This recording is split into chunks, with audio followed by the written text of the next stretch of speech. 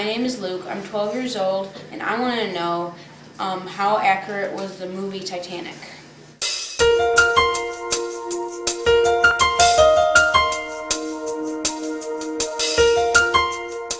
Hello, my name is Kathy Offinger. I'm sitting here at the Woods Hole Oceanographic Institution on Cape Cod in Massachusetts, where I'm manager of operations for the Deep Submergence Laboratory.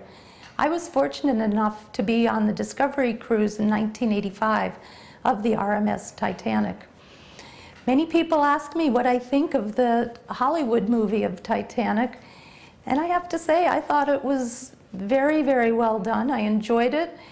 And for so many years after thinking about the Titanic as a wreck and as a wreck site, it was really wonderful to see such a uh, true rendition of the ship created as it was before it became a wreck.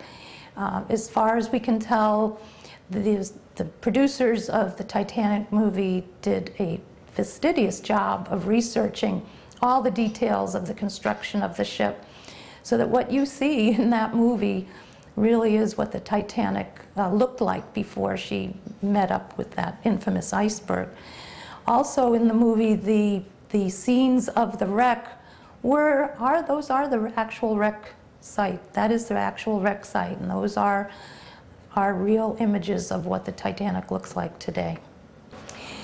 As believable as seeing the ship was in the movie Titanic, I think everybody knows that the story about Rose and Jack was a Hollywood story. However, we've received numerous letters from people asking if we ever found Rose's necklace that she threw over at the end of the movie, and I would have to say no, we did not find the necklace.